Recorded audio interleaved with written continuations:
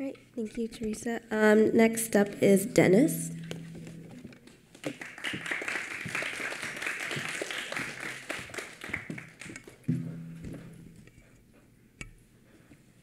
Hi, can everyone hear me all right? Okay. Um, so, hi everyone, thank you all for coming today. My name is Dennis Shen, and I work in the UCSD Mobile Systems Design Lab under the direction of Professor Sujit Dey, and my uh, project is called Cloud-Based Caregiver Training. So our project began with the rather simple and obvious observation that saving money is a universal ambition. Quick show of hands, who here likes to save money? Yeah, most of us, I imagine, right? Because whether you like it or not, based on how our world functions, uh, money is essentially a necessity for survival and practically imperative for a comfortable lifestyle, something I'm sure we all desire. I mean, whilst we often refer to money as dough. It's because we all need it, right?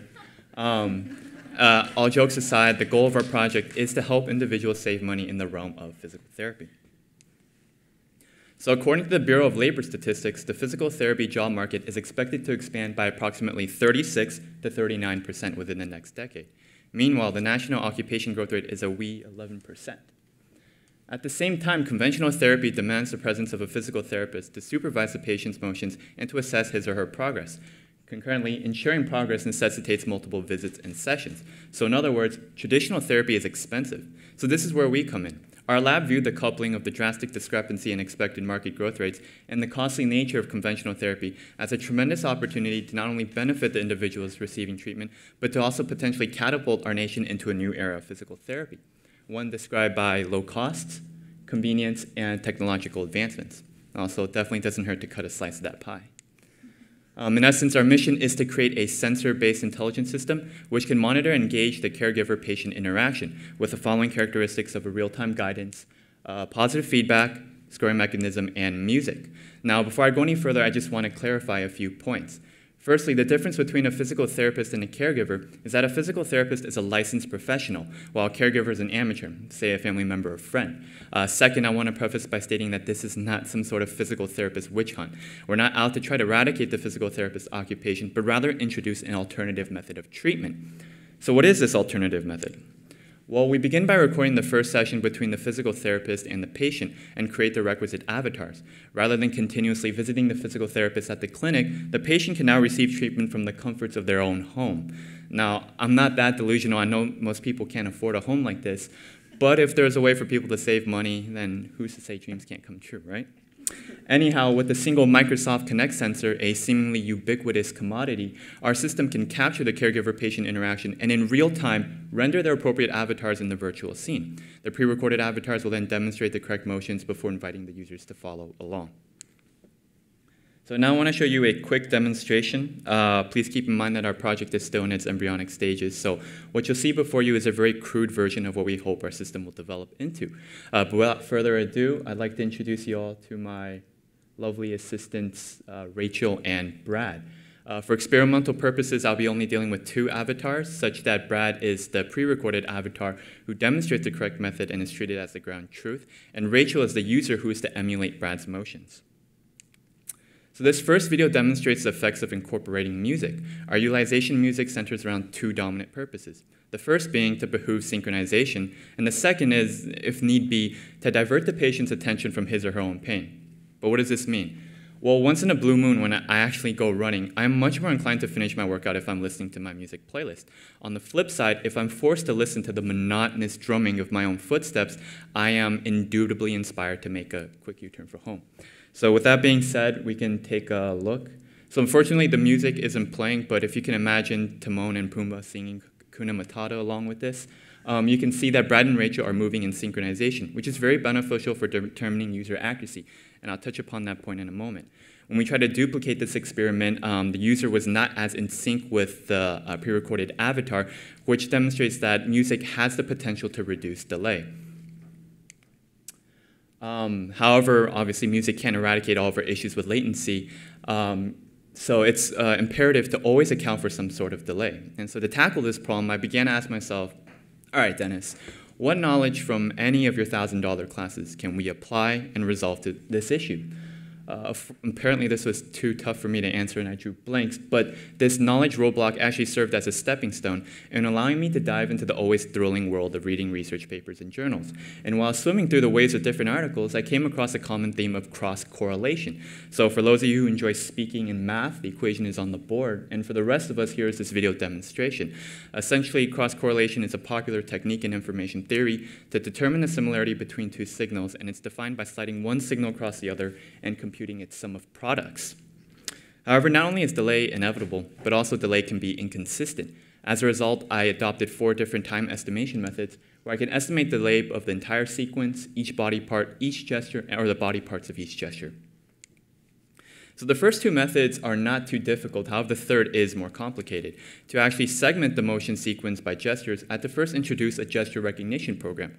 And to do this, I use a multi-class one versus all support vector machine with a Gaussian kernel.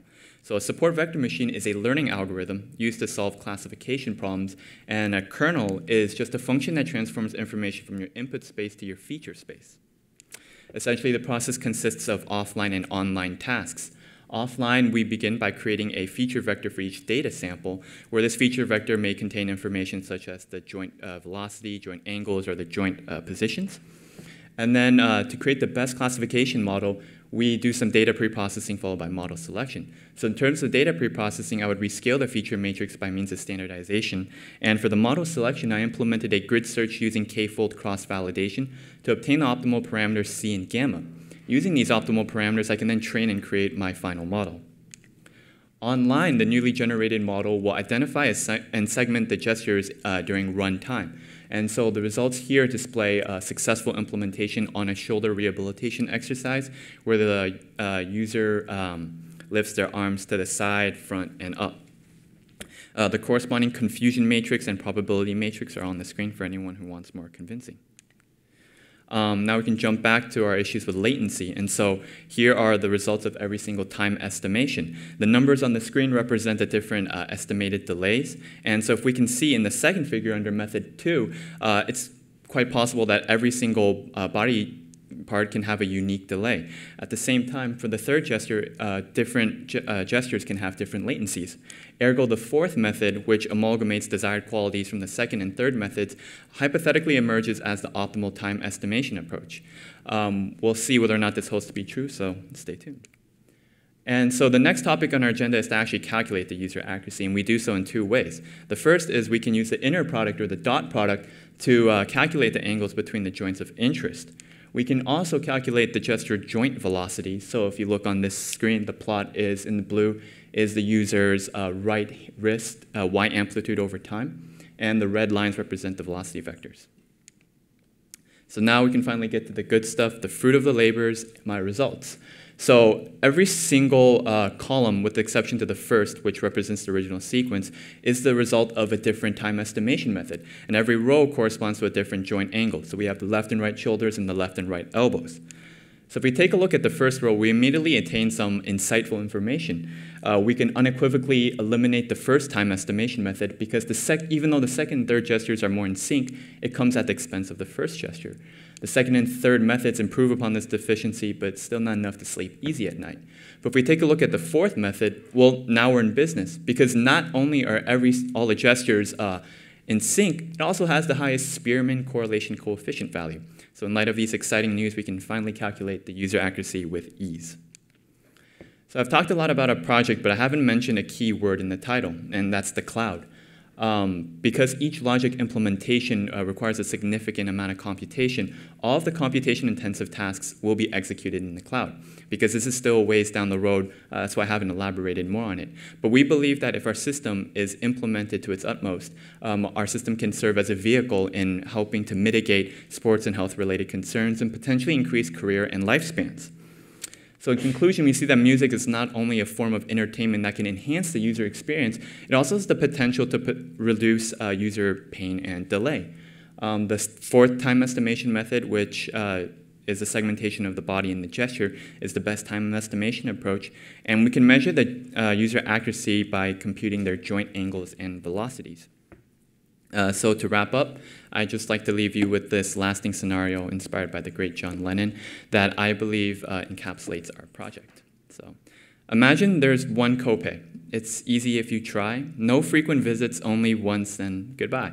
Imagine all the patients treated right at home. Imagine PT is fun. It isn't hard to do. There'll be music and guides and perhaps less pain for you. Imagine all the patients living life connected. You may say I'm a dreamer, but I'm not the only one. I hope someday you'll join us and see that PT can be fun. And so I'd like to just quickly acknowledge uh, Professor Sujit Dey, who's here today, for uh, giving me the opportunity to work in this lab.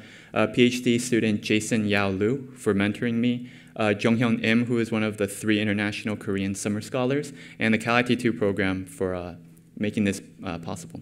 So uh, thank you all again, and I'd like to open the floor to any questions.